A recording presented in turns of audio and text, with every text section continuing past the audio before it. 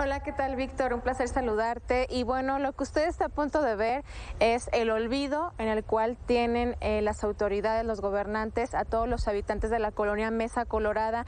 Nos encontramos en el cruce de la calle Ocelot y Acatel. Y bueno, esto no sabemos si son calles. Usted va a poder apreciar las imágenes de mi compañero Raúl Rico como eh, no hay pavimentación en absoluto, solo es una combinación de tierra, piedras y basura. Y así han vivido durante décadas los habitantes de esta colonia, pero ellos son los que nos van a platicar cómo les afecta esta situación.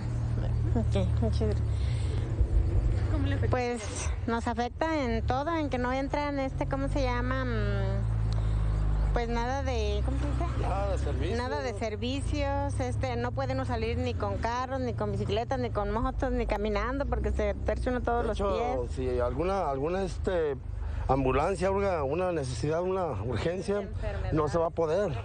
Queremos este servicio de, de las tiendas, de los abarrotes, también los, ni, los- ni el gas puede entrar, no puede entrar nada. O sea, a ver si nos hicieran el favor de venir a checar las calles que supuestamente tenemos aquí.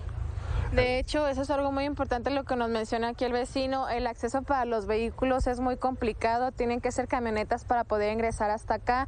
Un vehículo pequeño, una motocicleta, bueno, batalla mucho. Y bueno, para las personas de em, adultos mayores también debe ser muy complicado. O si alguna persona tiene alguna lesión. Eh, señora, de este lado que me diga, eh, pues, ¿cuál es la sensación que le provoca que las autoridades no puedan brindarles algo tan básico como es el pavimento? Caray.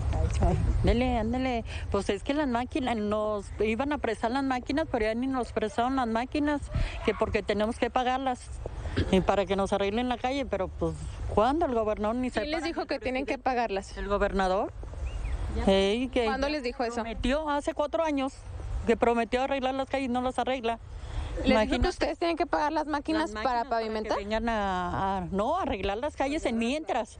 Ey, la renta. Una llanta tienes que pagar tú con tu dinero. Si, le falta aceite al, al al- a la máquina, tienes que ponerle.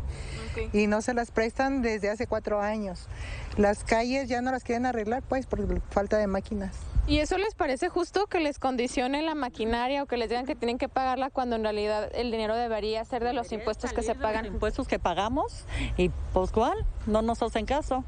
Y luego el- todavía tenemos que darles de comer a los choferes de las máquinas. Hace cuatro años que el gobernador les dijo eso. dijo el gobernador. Oye, yo tengo un problema.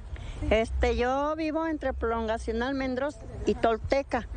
Entonces, es, pasa un arroyo, pero ese arroyo podían pasar carros. O sea, la calle estaba bien a pesar de que era arroyo. Sí. Ah, Muy bien, no. señora, le vamos a dar seguimiento luego a su denuncia y de este lado nos vamos, que nos platiquen, eh, chicos, pues cómo les afecta vivir en una colonia así, cómo es el acceso para ustedes. Pues este, yo aquí tengo 26 años viviendo y no, y no han arreglado las calles para nada. Nomás dijeron que iban a arreglar y no han arreglado nada. Prometen, pero Y nos hace bien mucha falta porque no puede salir ni un carro, ni entrar, ni nada.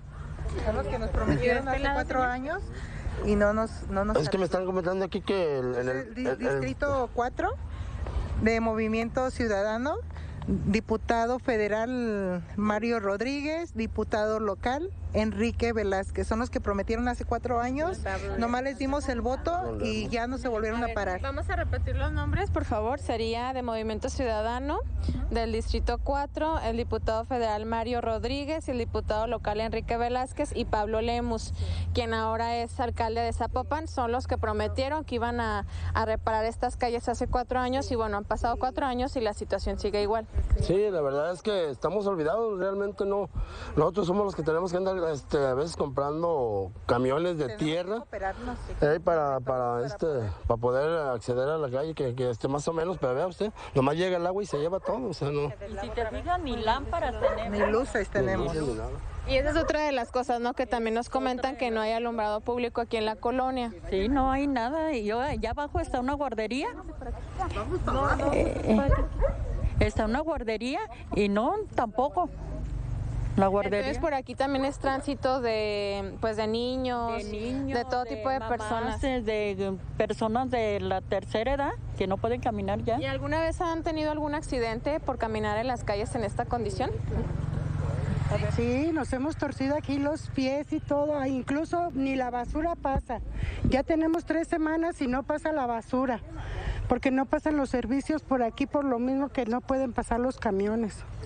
Entonces, ¿cómo le hace el servicio recolector de basura? ¿A dónde tienen que llevar la basura? No, pues no pasa, no pasa ahí. A toda la gente tenemos nuestro montón de basura también. Porque tienen, según dicen que porque tienen el camión descompuesto y, y el ¿qué será el no les dan para componerlo y tienen que reponerlo de su mismo De bolso? su misma bolsa, los- el chofer nos ha platicado que no le da el gobierno, pues no lo, el, ¿qué viene los siendo? No, el ayuntamiento no le ayuda a arreglar el camión, ellos tienen que sacar de su bolsa para pagar. Entonces aquí las problemáticas son, mm, pues la pavimentación obviamente, todos los problemas que genera, no pasa el servicio recolector de basura, no hay alumbrado público y de hecho podemos también observar eso.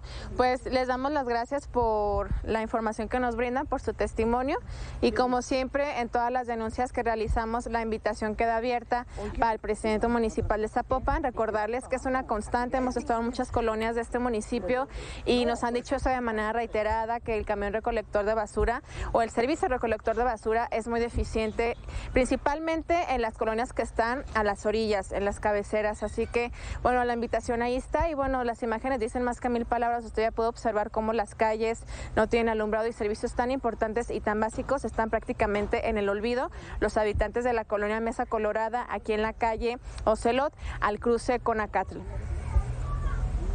Bien, ahí está el reporte y pues lo han manifestado ya los vecinos y nosotros lo hemos visto de una manera muy gráfica, ni siquiera parece una calle ese lugar, parece un tiradero de escombro, es bastante complicado y pues bueno, la Mesa Colorada, una de las colonias que me parece está en peores condiciones en cuanto a marginación. Ojalá de verdad que sí en, en el municipio de Zapopan estén poniendo atención y haya algún plan de intervención en esta zona. Diana, muchas gracias.